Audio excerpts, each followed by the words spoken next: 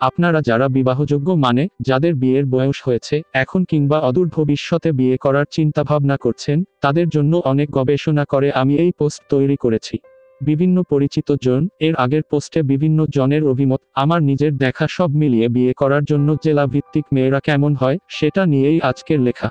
এক, যশোর খুলনার মেয়েরা অনেক সুন্দরী।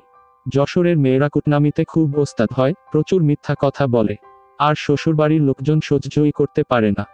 পরকিয়াতে ও ওস্তাদ যশোরের মেয়েরা। দুই, চট্টগ্রামের মেয়েরা বাইরের জেলাদের ছেলেদের ব্যাপারে আগ্রহী নয়। কিছুটা কনজারভেটিভ তিন, সিলেটি মেয়েরা পর্দানশীল বেশি।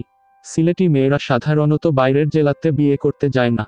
আত্মীয়দের মধ্যে থাকতে পছন্দ করে। সিলেটি মেয়েরা ছেঁচড়া চার, পুরার ঢাকার মেয়েরা খুবই দিলখোশ। ঢাকার অন্য এলাকার মেয়েরা জগা খিচুড়ি। পাঁচ, খুলনার মেয়েরা স্বামী অন্তপ্রাণ। খুলনার মেয়েরা নাকি ফ্যামিলির ব্যাপারে একটু সিরিয়াস টাইপের হয়? ছয় উত্তরবঙ্গের মেয়েরা কমলমতি হয় এবং বেকুব ও আনক্রিয়েটিভ সাত, বরিশালের মেয়েরা একটু জগরাটে ভালো রাধুনী, ন্যাচালার সুন্দরী, সংসারী এবং স্বামী ভক্ত।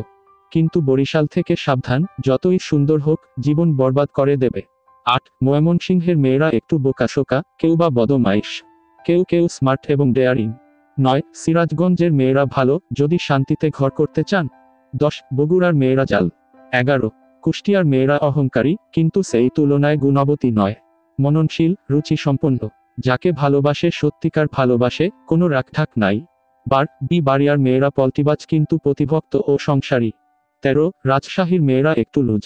চোদ্দ, পাবনার মেয়েরা কুটনা হয়ে থাকে। পনেরো, জামালপুরের মেয়েরা বেশি স্মার্ট এবং ডেয়ারিং এই জেলায় সুন্দরীদের ঘনত্ব বেশি.